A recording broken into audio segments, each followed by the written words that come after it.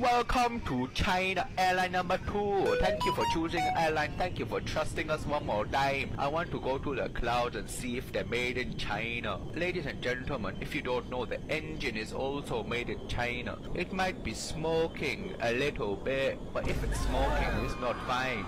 Somebody said, where's my dog?